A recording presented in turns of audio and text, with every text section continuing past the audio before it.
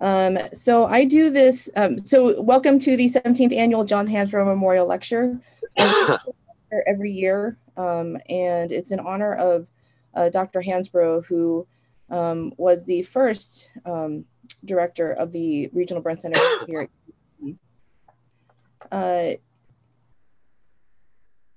I do an intro every year to talk about Dr. Hansbrough because um, uh, not also not just because of his accomplishments, but also to remind everyone um, kind of what happened with him. His wife has asked me to kind of um, approach this subject every year just as a reminder that um, physician wellness is an important aspect of being a doctor. And I think we all forget that um, a lot of the time. So let me so for those of you, and ignore the headline goes here, I don't know why that's still there. For those of you who don't know him, uh, Dr. Hansbrough was born in Virginia in 1946. He uh, graduated from medical school from Harvard, did his surgical residency at the University of Colorado, and was the burn, um, the director of the burn unit there uh, after his residency. He was then recruited to come to UCSD in 1984 and stayed on as uh, burn director until his uh, untimely death in 2001 he's had many academic accomplishments. Um, he is very well known for all of his research. Um, and this is in his short career is just a, a you know, um, part of what he would have been able to accomplish um, had he uh, continued to live. He uh, his his big thing that we still all talk about in the burn community is TransCyte. This was a skin substitute that he actually helped develop um, that one of the companies in town is actually looking to try and reproduce. So we'll see whether or not it makes a comeback. Uh, some of my older burn nurses are very excited about this. He does have a book out um, called Wound Coverage, where he talks about um, skin substitutes and things that were at the time that he was practicing.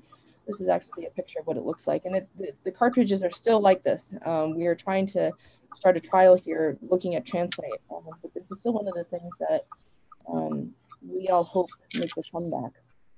He trained many fellows, um, had research grants, uh, did many national and international presentations, created many educational CD training videos, especially for the military. He had a close relationship with the Navy and frequently went across town to do uh, talks in terms of uh, talks about burn care and uh, pre-hospital um, uh, trauma care.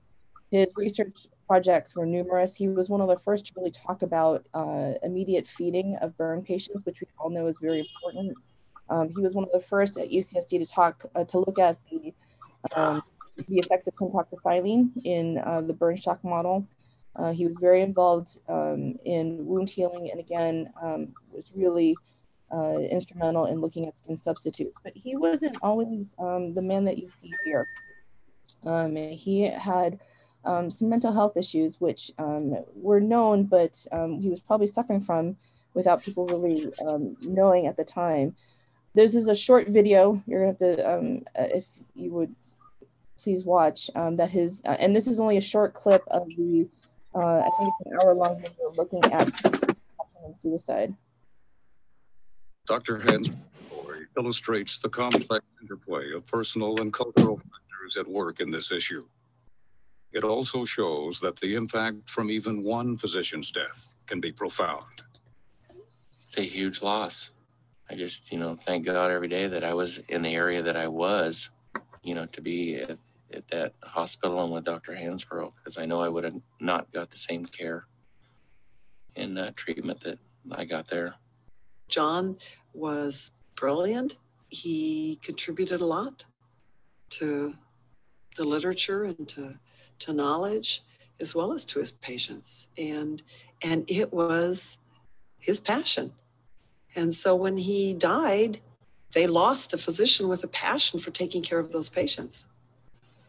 I've thought a lot about the culture of medical care and nursing care in the last few years. And i think that it's important for physicians to begin to recognize um, emotional needs of their patients first and and and maybe in doing that they'll become more comfortable with recognizing the emotional needs of each other the institutional culture of medicine has to date accorded relatively low priority to physician mental health So that's just a short Doctor? clip of um, of that presentation. Um, but again, it, it talks, you know, it kind of broaches the subject of um, suicide and depression in physicians. This was a an article that came out um, more than 15 years ago in the American Journal of Psychiatry that looked at the suicide rate in male physicians.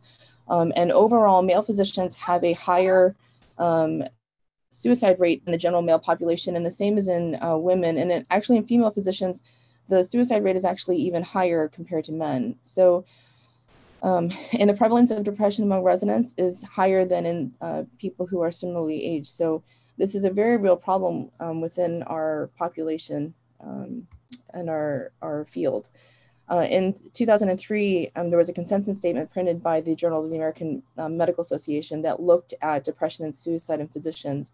And they recommended even then tr- trying to transform professional attitudes uh, and changing institutional policies to encourage physicians to seek help and trying to remove barriers um, as physicians learn how to confront their own depression um, and suicide, suicidality, not just in themselves, but also in their peers, um, and to educate them so that they are more able to recognize these things in people around them, including their peers and their uh, trainees.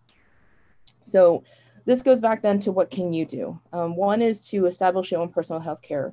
We are terrible at being patients in general, um, but it is better to find a physician that you can trust earlier on, uh, that you can do your primary care with. Just find a primary care physician uh, that you uh, can get along with and maybe talk to. Learn to recognize um, the symptoms of suicidality, and not just that, but also of, of depression.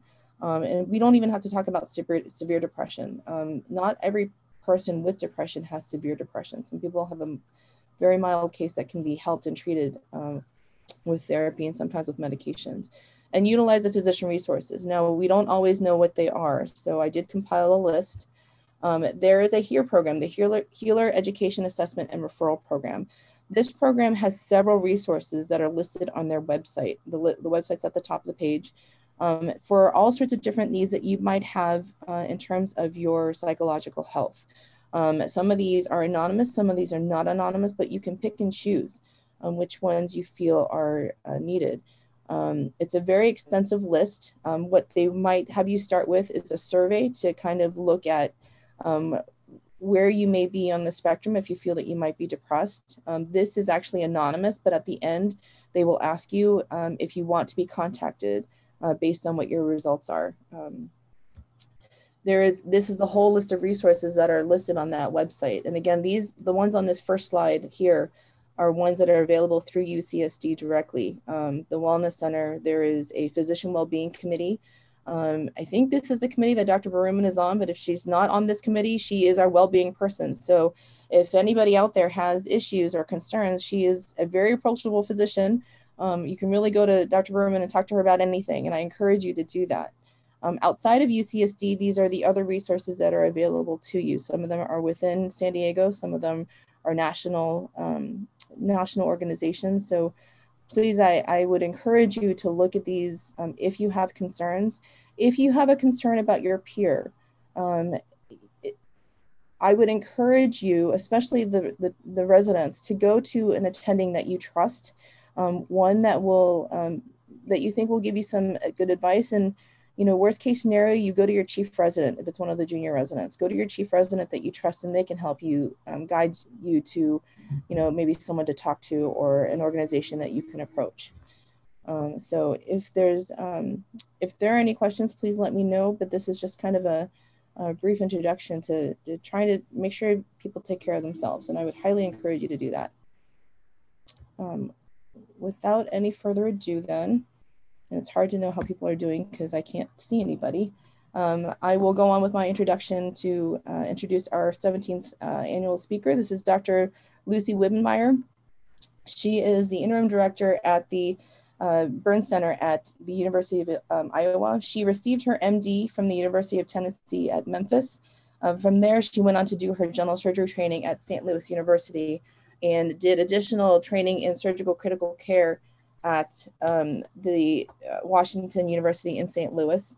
She has um, over 50 publications, including book chapters, um, and has mentored many students and fellows um, in research and in uh, clinical care. She is involved in both multi-institutional trials as well as industry research. Um, some of the multi-institutional trials are with the DoD and with the American Burn Association.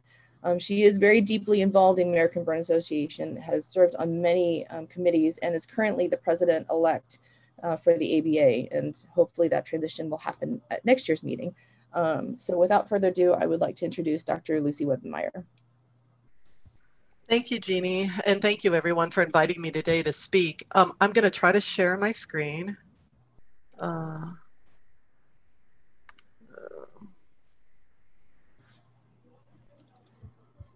so bear with me.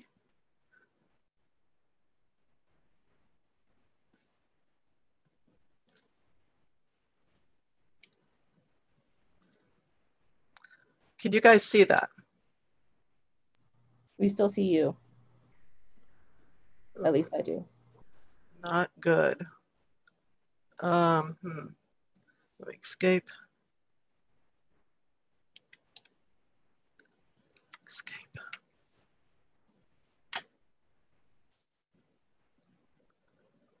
Okay, so I see you, screen two.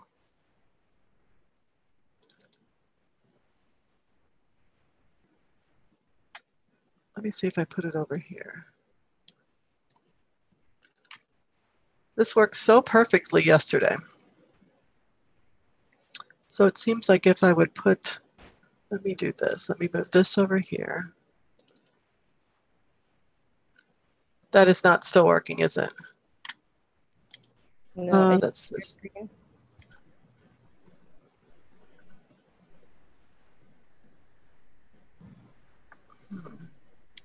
Let me move this over here. You, um, what do you see now? Is that my, that's not my screen, is it? Did you hit share screen on? I'm assuming you hit share screen on the Zoom. I did. Oh, here we go. I had to, I did. So No, I I guess I had to hit it twice. Okay, let me do this. Working now. Yep. Yes. See your screen. Now, do you see a talk? I think you need to move it to whichever, to a different. Do you have two screens? Yes. Maybe try moving it to the other one. There we go. Now I see a window. But you still don't see the talk, do you? It's, it looks like it's still opening.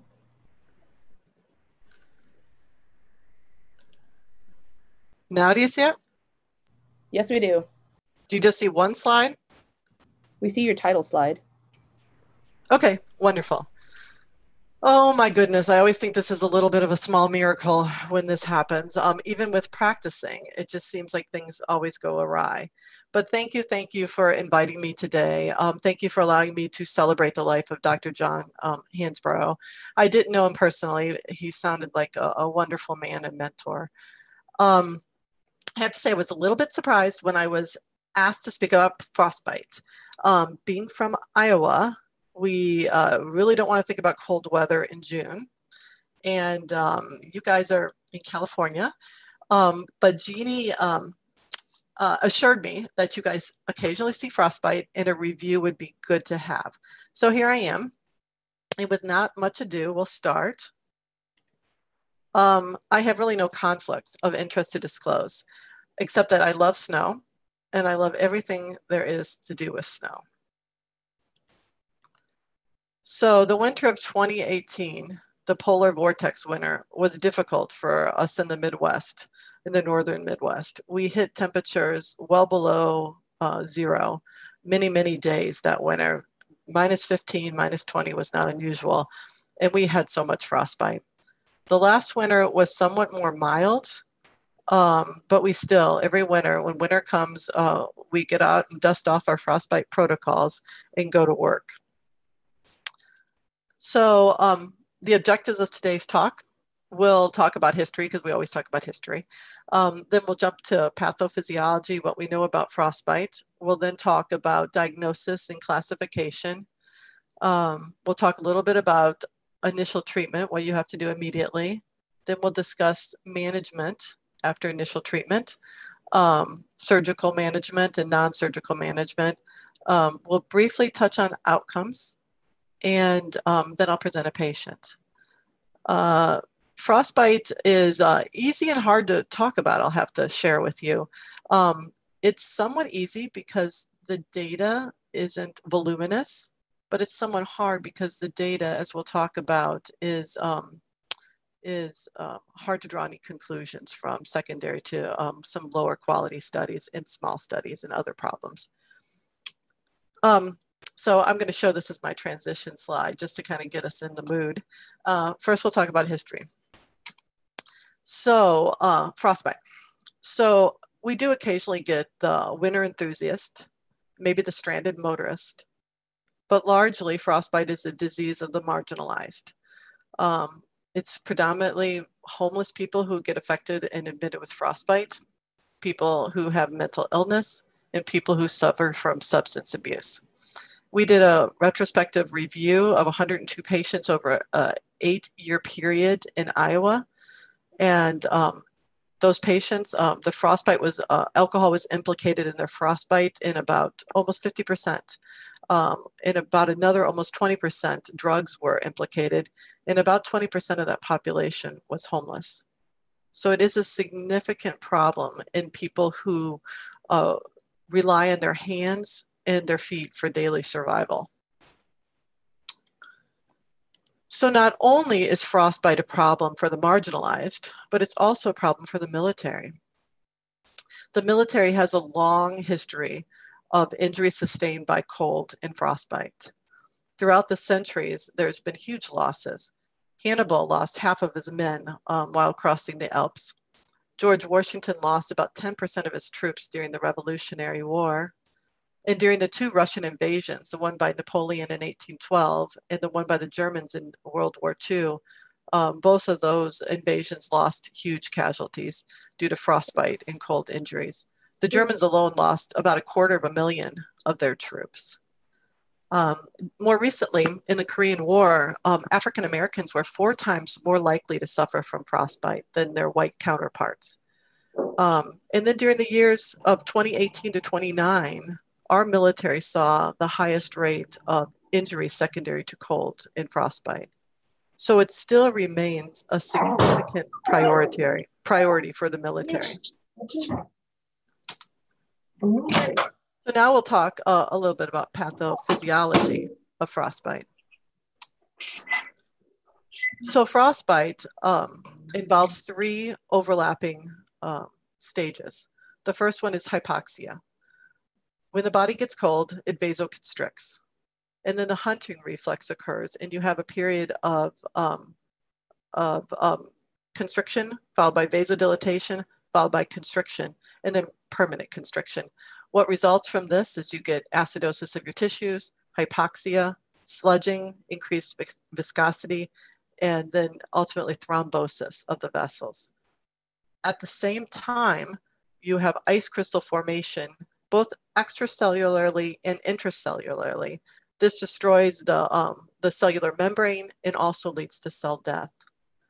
Both of these phases uh, lead to inflammation, which is maximal at the time of reperfusion when blood flow is restored. At this time, you have um, an inpouring of uh, cytokines, and uh, which which lead to um, platelet aggregation, more thrombosis, emboli, and then ultimately vasoconstriction. So really, when you're looking at frostbite, you're looking at an injury that causes both thrombosis and inflammation and you have to correct both of those states to preserve your digits in your limbs. So um, next, diagnosis and classification. So um, the, the best way to look at frostbite is really to look at it uh, like we look at burns. Um, although there's several classification schemes, I think this is probably the best way. So the left panel shows you normal skin the panel number two is frost nip, which is very similar to superficial burn or um, first degree burn. So healing is really the rule here. Um, the skin may uh, take on a little erythematous um, tone to it, or it may just be pale. Um, it could be numb, but again, full recovery here um, after warming. Um, superficial frostbite is like second degree burn. Um, here you might have pale skin or slightly reddish skin. And then pathognomonic for this, you'll have clear blisters. Deep frostbite is like third degree burn. Here you're going to have either a bluish or gray discoloration of the skin or a very deep red to the skin. And you will also have hemorrhagic blisters. For both superficial and deep frostbite, healing is not, uh, is not guaranteed uh, without mitigating the inflammatory and the thrombotic process.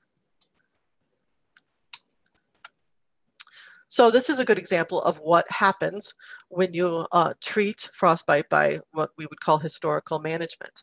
So the patient would present with hemorrhagic blisters, which would um, harden and mummify and um, gradually cause shrinkage of the digits. Um, this, of course, sets the patient up for um, uh, dry gangrene, which can eventually turn into wet gangrene in an emergency.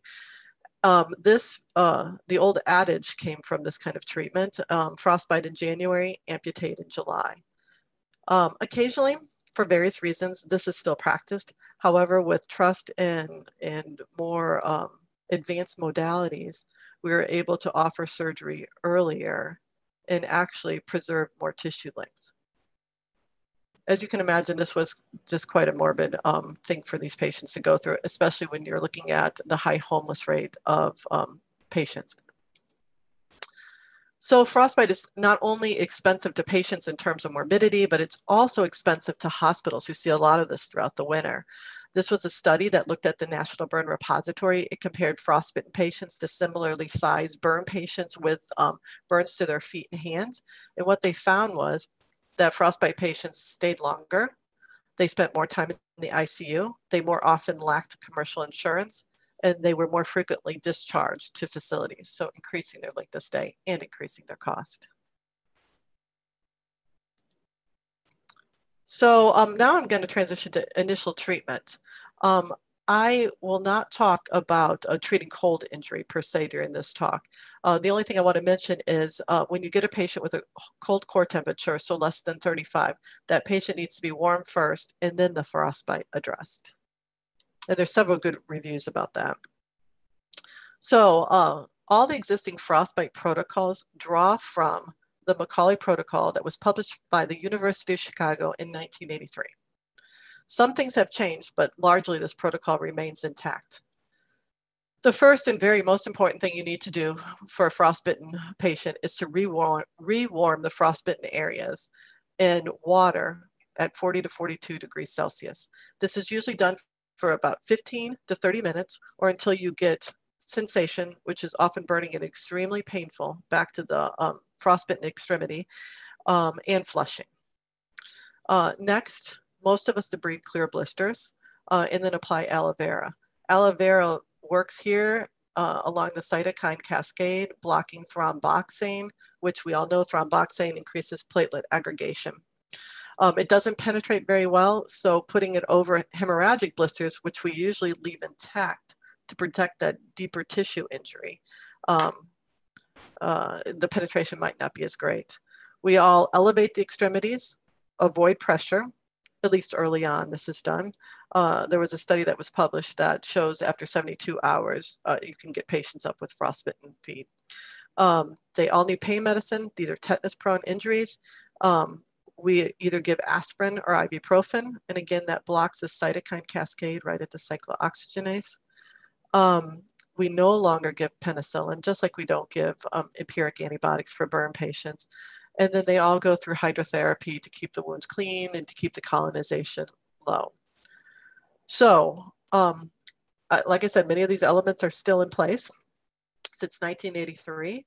Um, however, if patients present early, there are now more options, thankfully, to help their frostbitten extremities. So a decade after the McCauley, um, McCauley protocol was published, a letter appeared uh, in JAMA to the editor. Um, this letter reported on a pilot study of four patients who were treated with IV, with severe frostbite who were treated with IV TPA, or I'm sorry, intraarterial TPA. In three of those patients, they were able to uh, not undergo any amputations. One had amputations, but he also had some concomitant soft tissue injury. So in this letter, it was just unclear. This was mind blowing at this time. Uh, as you know, this was an option now to uh, move the needle forward. No, no longer had we were we just relegated to watching and waiting. But now, perhaps we had um, something that could bust, bust those clots and save that extremity. Um, interesting enough, in the letter, um, the PI was quoted as saying, This is way too early, and I feel bad that we're actually presenting this data. So the world would have to wait another decade for the, the paper to be published. Simultaneously, in Europe, studies were undergoing using iloprost, which is a prostacyclin analog. Prostacyclin is a vasodilator. It's also an anti-inflammatory agent. This letter to Lancet reported on five patients that they had used iloprost in, and all five patients had severe frostbite and did not have to undergo any amputations of their digits. So iloprost is not available in the US, so we're gonna go back and talk about TPA a little bit now. Um, how does TPA work? Well, TPA binds to um, plasminogen-bound fibrin, splitting it into plasmin. Plasmin degrades the clot, creating the fibrin degradation products, and uh, restores blood flow to the frostbitten extremity. So now, um, issue, now we issue in a new paradigm for frostbite treatment. With the publication finally of the paper out of Hennepin, that reported initially on the four patients. This was by Dr. Twomey and colleagues. This was a cohort study with historic controls. It spanned about 15 years. Um, they enrolled 35 patients and looked at 174 digits at risk. 19 of those patients got TPA.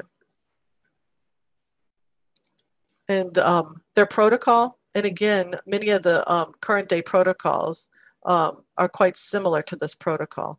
They, for the patients that got TPA, they included those that had no improvement after rewarming. They had absent Doppler signals on exam, and they had um, no perfusion on or perfusion deficits on scintigraphy. Um, at Hennepin, they could they could get emergency bone scans. That's not so true today uh, at Hennepin, and it's certainly not true anywhere else I know in the world. Do our nuclear medicine physicians come in in the middle of the night for bone scans? Um, importantly, they used a cutoff of 48 hours of cold exposure to um, for their TPA group. Um, they, their exclusion criteria are rather standard. Um, I will point out though, for frostbite, repeated fro freeze-thaw cycles are uh, an exclusion criteria for TPA because those patients, uh, as you can imagine, they have repeated cycles of hypoxia and inflammation and then repeat hypoxia inflammation, and they just do not do well. So what they found, um, they found in the patients who uh, received TPA, they had a very low amputation rate compared to 12 of the 16 historic control patients that um, had digits amputated. Um, so their main conclusions were a delay of greater than 48 hours of cold exposure portended a bad um, outcome in terms of amputation, um, and that either IV or IA um, had good results with um, digit salvage, and, and it didn't matter where the frostbite was or the route of the TPA. So I'll just show you a couple of pictures from that article. Um, so here's a patient with severe frostbite. Uh, this would be deep frostbite. You know, it's just erythematous, um, hemorrhagic blisters. Some of these are broken. Um, it's edematous. Um, here's a bone scan, uh, fuzzy, fuzzy bone scan. I'll show you some better pictures later, um, where you see lack of perfusion to these lateral digits. And then you see this picture weeks later, weeks to a month later, where you see the mummified digits that have demarcated nicely showing you where the, where the amputation should be, um, and they're shrunken. However, this is most likely months later. And then here's an example of a patient who got intravenous TPA. Again, he presents with third degree frostbite. The bone scan pre-TPA shows no perfusion to the extremities, or to the fingers rather. And here's a post-TPA bone scan showing perfusion uh, restored to the fingertips. And here's a, a picture showing complete digit salvage. So compare this to this. So where are we in terms of our studies, the literature, the results since that first pilot study that was published in 1992? Well, we're a little further ahead. Um, to date, we've only had one randomized controlled trial. This was only level to be um, evidence because it's a, in the format of another letter to the editor, New England Journal, but only a letter. Um, and this is a little bit double dipping because I'll talk about this randomized controlled trial when I talk about iloprost because they enrolled iloprost and TPA in the study. Um, we've had eight retrospective cohort studies, four case series, and three case reports. In all total, 209 patients since the 90s have been enrolled in studies, uh, and we've looked at uh, 1,109 digits at risk. And I should say digits at risk. What do I mean by that? I mean that um, the best way to show a digit at risk is to have a pre-TPA runoff, and then you can see exactly where your perfusion stops. And then you can judge, well, that digit's at risk because there's no perfusion. Um, the next best way is a bone scan, um, which is plus minus in terms of its anatomy, the, uh, the anatomy that it can reveal, but that's the next best way. Then the, the third best way is your clinical exam. So um, that's what I mean by digits at risk. If there's no perfusion, they're a digit at risk. Um, if you save that digit, then that's considered digit salvage. So looking at this literature, what can we conclude? Well, there have been two reviews, one meta-analysis and one guideline paper developed on um, looking at the use of TPA and frostbite digit salvage. And the conclusions are not strong. Secondary to low quality studies, small studies, and um, differing methodology and outcomes in all these studies. However, the one meta-analysis results are shown here. And, um, and what you see here is that IV, uh, either IV or intraarterial TPA has about a similar digit salvage rate. I should say limb or digit salvage rate, uh, which is pretty good, upper 70s when you're looking at the possibility of amputations. Um, and just as importantly, it had a very low complication rate. So TPA seems to have a role um, and it seems to not cause significant harm. So what's the guideline paper say? Well, the evidence not strong enough to give a standard and the guidelines are kind of weak and watered, down as well. Um, so what the guideline paper says is with high grade, that TPA should be considered with high grade frostbite that extends past the IP on the finger or the interphalangeal joint on the thumb or great toe. And in reality, what do we do? What do most centers do? I think we do what most centers do. Anyone who presents to us with second degree or higher frostbite or superficial frostbite, I guess, by the classification I gave you, um, that involves two or more fingers or toes, that involves a thumb or the big toe uh, that has perfusion deficits on exam or by Doppler. Um, and then most importantly, um, we usually cut it off at 24 hours. Uh, the guidelines actually said 48 hours. So again, the, the data is not great. If we if if we if we we also weigh the pros and the cons and the amount of frostbite, and um, if it's a little bit over 24 hours from the uh, rewarming time, they may get enrolled um, in TPA. Um, and they must have absence of freeze thaw cycles. That's pretty standard. So here's another great example, um, a frostbitten foot with uh, minimal flow to the great toe, uh, pre-TPA, post-TPA. And at Iowa, we, we usually do intraarterial, although we're looking uh, to now institute intravenous as well. So here's a post-TPA um, runoff, and you see complete perfusion to the toes. In my mind, a great salvage. And here's another picture that kind of um, runs this home. Um, this is from Regions, a paper out of Regions. This is um, full thickness. I'm sorry, this is deep frostbite. You see these hemorrhagic blisters and um, just uh, black, discolored skin, just horrific frostbite. Here's um, pre-TPA runoff. Here's a post-TPA runoff. TPA, if you're doing an intraarterial, it's usually 24 hours. If you're doing an intravenous, it's usually um, for, uh, oh, we're just working on this protocol. I think it's for, I don't want to tell you wrong, but it's either from six to 24 hours. But this is post-TPA. And then you have complete salvage of the digits here. So what happens? to, unfortunately, the majority of our patients who are out of the window. Are they really out of luck? Well, uh, in the U, if you live in the U.S., yes, I'll have to say yes. Um, although in-hospital care is better than staying out of hospital, but you are out of luck in terms of being able to get reproduced with TPA. Now, Iloprost, for those who live in Europe, offers a greater advantage. It is also given IV, and it can also be given and show uh, improvement after 72 hours from rewarming. Again, it's a vasodilatory agent, and it decreases inflammation. Um, with iloprost, um, the caveat is that uh, the infusions are long and they can be uh, up to six days and sometimes longer. So what's the literature on iloprost? So at the same time the literature was developing on TPA in the US, uh, Europe was developing literature on prostacyclin um, or iloprost.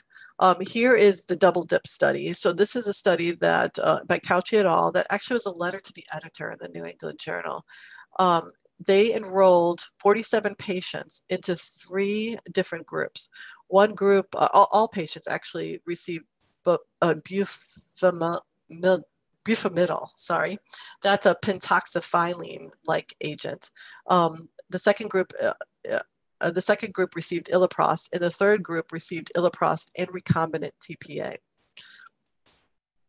And uh, what they showed was that um, if you were able to infuse patients less than 12 hours from rewarming, you had pretty good results. So in the latter two groups, they showed a digit salvage rate of 80% compared to the historic control group. Um, and then if you uh, infuse them greater than 12 hours um, from their rewarming time, um, their salvage rate was still better than control, but it was about, it dropped to about 60%. So most people looking at the studies that I'll have to say are quite slim um, say that uh, iloprost is similar in salvage rate, if not better than TPA.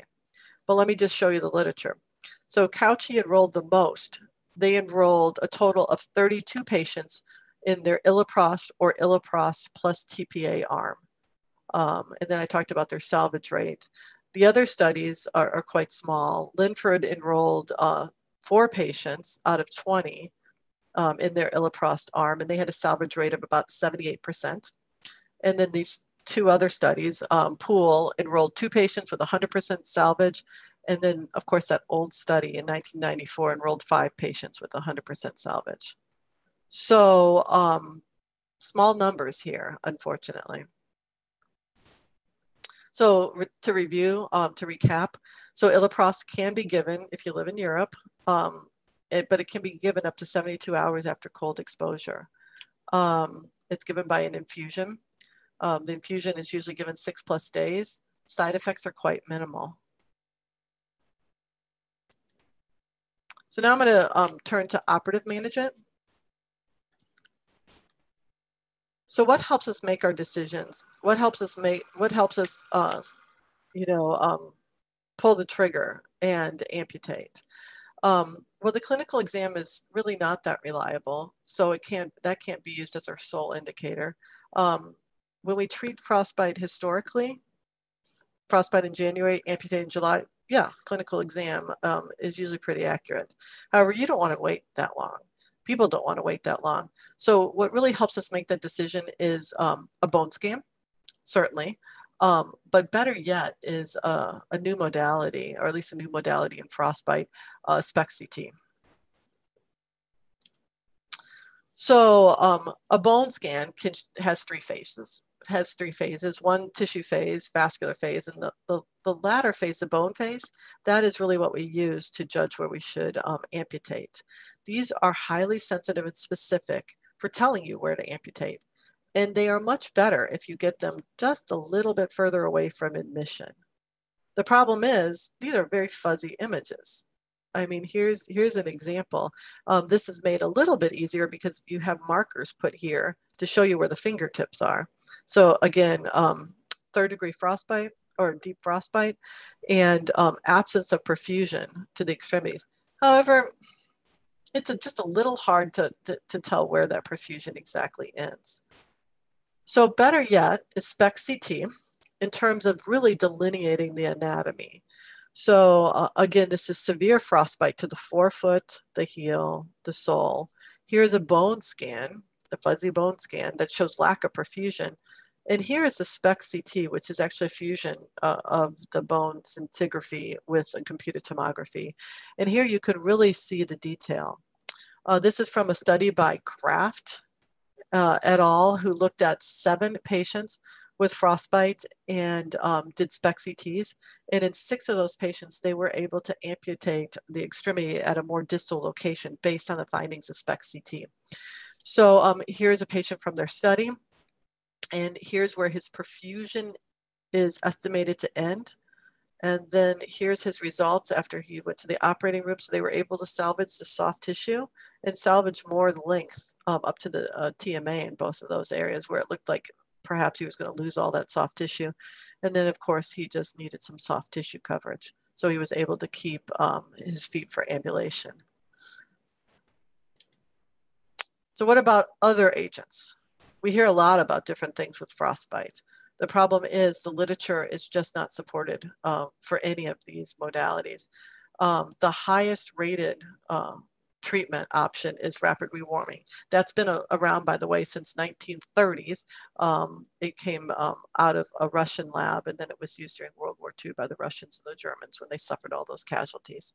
Um, that's gotten the highest grade. Otherwise, anti-inflammatories are only weakly supported, um, as is aloe vera. Anticoagulation, I'll have to say, when it's used as a sole agent, has no um, evidence to support it. And then all these other modalities, hyperbaric, pentoxifylline, sympathetics, vasodilators, um, they have, again, no evidence, no strong evidence to support them. So a lot of research is where we need some work. Now, what about long-term outcomes? So you're able to save that digit. Um, does that make the patient better? Or the leg, does that make the patient better? Well, we really don't know, unfortunately.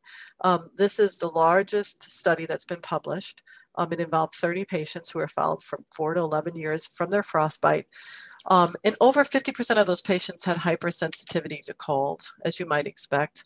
About 40% still had numbness in their exposed digits, and about a third had suffered from decreased sensitivity to touch.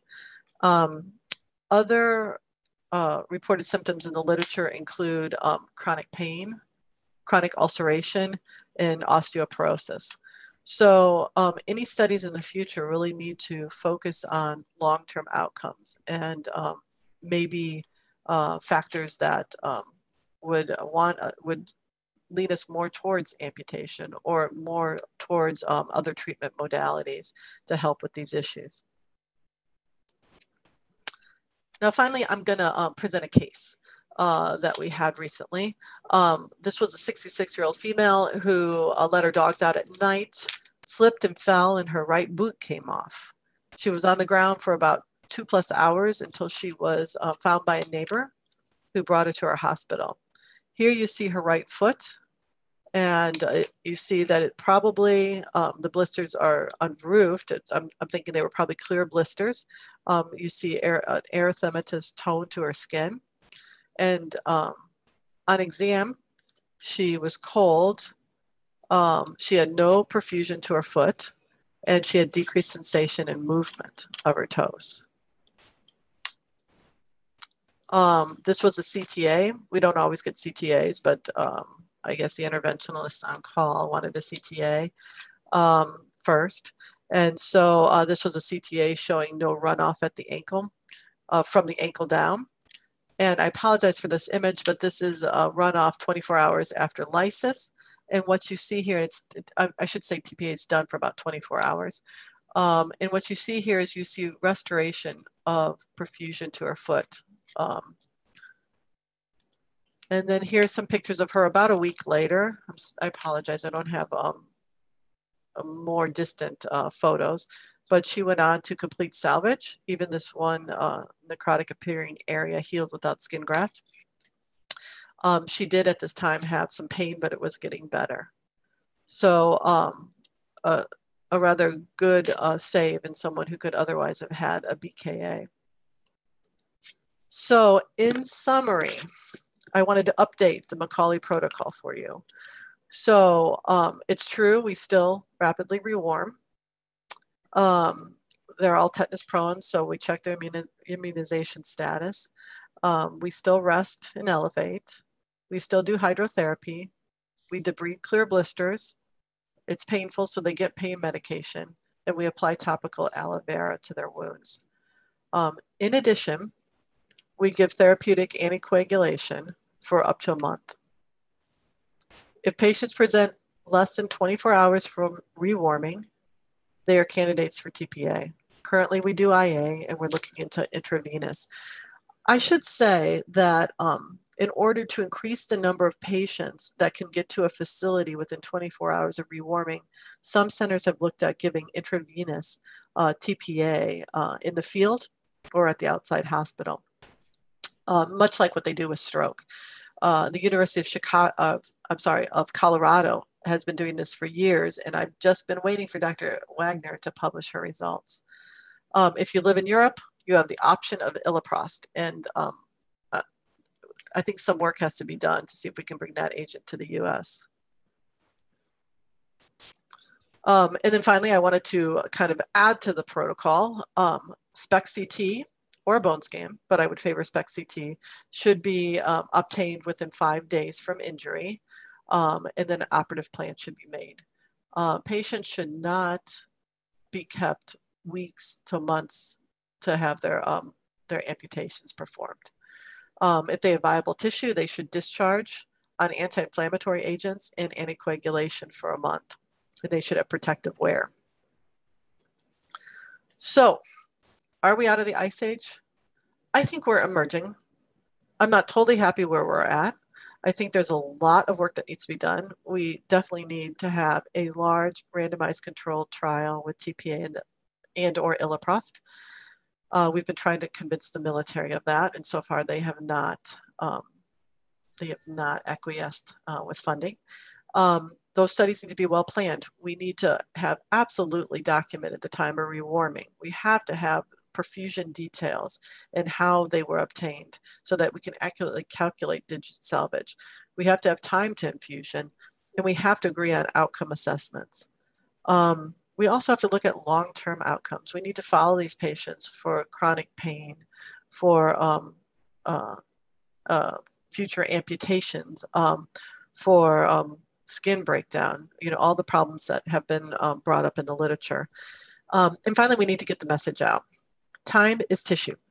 Um, a study out of Hennepin showed that every hour um, of delay resulted in 28% less digit salvage. So it's important that patients who get frostbitten get rewarmed timely and get to centers that can give TPA within 24 hours. So we're getting closer, we're emerging, but we're not quite there yet. So um, any questions?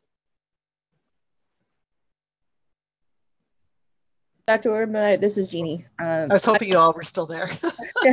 I just want to thank you for giving this talk. I have to admit, I asked you to do this for partly selfish reasons because um, we do. It, it's it's. I never expected this when I came to San Diego, but we do get frostbite. The unusual thing for us is that we frequently get these patients outside of the 24-hour window. Um, our the first patient I can remember was somebody who was actually working in Alaska on an oil rig and sustained a frostbite injury and was actually came back to San Diego because he lived here um, about 72 hours after this happened. My second patient was a Navy person who was doing maneuvers somewhere cold and had a cold gloves on his hands and didn't realize that he was getting a frostbite injury until 24 hours later and so came to us about 48 hours after his injury so um, we frequently get these patients late and so and you know like you said it's hard in the burn community to find things in the literature that are consistent across the board because people do things somewhat differently depending on what you look at and there's not a ton of stuff out there that talks about how to treat these patients.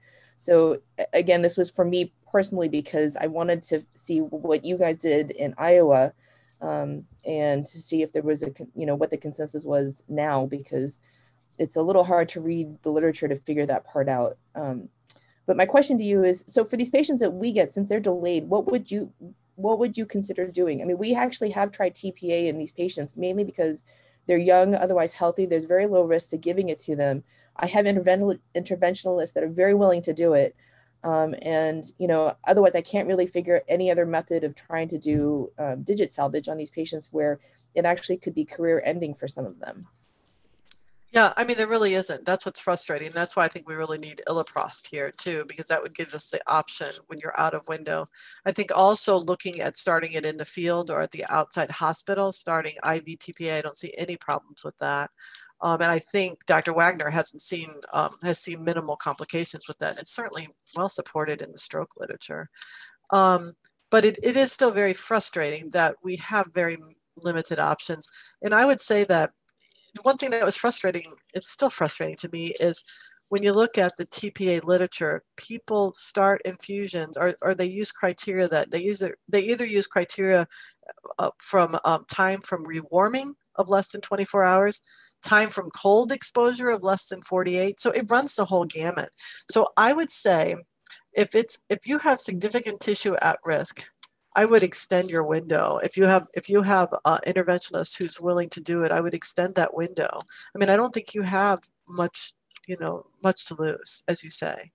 In the literature, I mean, I didn't tell you, but one review that looked at the literature thought that TPA should be the literature was was so incomplete or inconclusive that they thought TPA should be relegated to research. I think that's a little extreme. I think you're holding back some really uh, limb preserving um, modality to patients that otherwise would have nothing. So um, I would say if you have it available and you're looking at a devastating frostbite injury, I would say, and you have a, you know, a perfusion deficit and you have no contraindications, then I would say you should give it. Thank you very much. Dr. Wibbenmeyer, this is Bryan Clary, uh, Chair of the Department of Surgery. I just want to say thank you so much for virtually being here and uh, presenting this uh, incredible lecture. I must admit, um, I don't think I've ever really thought about frostbite. And I can't even remember actually in my residency having a lecture on frostbite. So this has been a completely foreign topic to me uh, and actually really fun and exciting to learn something that, again, I haven't really ever thought about. And it was just very well presented. Um, I have a couple of questions. Um, you know, obviously when when we're hearing about things that we don't really um, think about every day or that aren't really part of our practices, uh, one question is, well, do do themes of this bleed over to other parts of our practices uh, and patients that we do see? So, for example, the use of the of the the SPECT CT scan, you know, is that something that that came over from vascular surgery or orthopedics in determining amputation levels for per, peripheral artery disease, or if it hasn't, perhaps maybe is that something that should bleed over from the frostbite world into the peripheral artery disease? So that's one question. My second question is really about uh, kind of your comments about you know stroke uh, care and the way in which the stroke community has developed you know uh, stroke networks and accreditation uh, programs. So I was just wondering if within Iowa or in your surrounding area, have you worked to try to create that sort of network with your local hospitals uh, and or through you know the critical care communities to create maybe accreditation standards or expectations for care? And again thank you so much uh, for for bringing this to our attention. So you know i was interested enough i was going to look up SPECT CT and see who uses it because this article, I forget exactly, all these articles have kind of been very recently published. That uh, article looking at SPECT CT um, was from the military, from a military hospital. And I actually don't know what else it's used in. So it's, to me, I'm not sure it would give the, the vascular surgeons the detail that like maybe a CTA would. I don't know though, not a vascular surgeon. So I can't really answer that. Um, but I certainly think it it does give the detail needed for amputations, especially when you're looking at soft tissue uh, in bone. So, um, uh, and in terms of your uh, increasing the frostbite network and centers of excellence, um, yeah. So I, so now I was, as Jeannie forced me to get this lecture together, I have huge plans to um, kind of take this uh, either virtually or to uh, other hospitals in Iowa. And um, just like stroke, um, you know, started a, a campaign um, that, you know, time is tissue when we're talking about frostbite and, uh, you know, time to infusion um, is critical. And uh, just kind of get the message out with a lot of PSAs.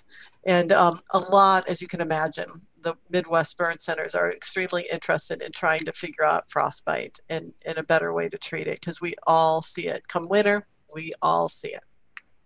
So, and as you can see, it um, sometimes um, these injuries are happening. Most of the time, they're happening to um, patients who are young, and they're quite morbid. And um, amputations are nothing anyone really in, enjoys to have to have to have to do for patients. So it's um, has a lot of sadness with it too. Yeah. Thank you.